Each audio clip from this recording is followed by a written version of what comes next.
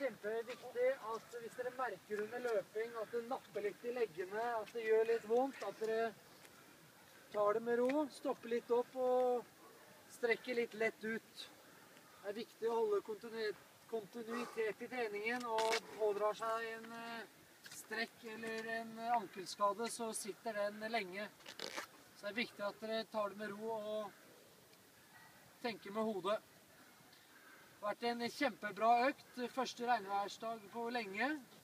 Det er faktisk deilig å få kjølt seg litt ned når det er så varmt. Herlig. Ja.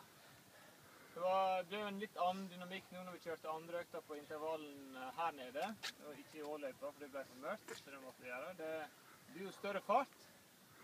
Men eh, jeg ser at de korte pausene gjør at folk kjører ganske jevnt. Det er vanskelig å, å, å kjøre veldig stor fartskjerke. Det går fortere litt på slutten en del, da, som tør å gi på litt mer. da. Danner seg en del grupper som føler hverandre. Det tror jeg er bra, som bytter på å dra. Det syns jeg dere blir flinke til. Det er noe som fort eh, finner, finner i lag, og det er fint. Bytte på å dra, hjelpe hverandre.